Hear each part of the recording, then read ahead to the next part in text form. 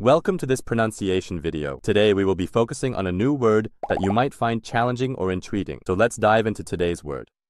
분들도, which means Even people in Korean. let's say it all together. 분들도, 분들도, 분들도. One more time. 분들도, 분들도, 분들도. Thank you for joining us on this adventure in pronunciation. Remember, language is a journey, not a destination. Keep exploring, experimenting, and expanding your linguistic horizons. We'll see you next time.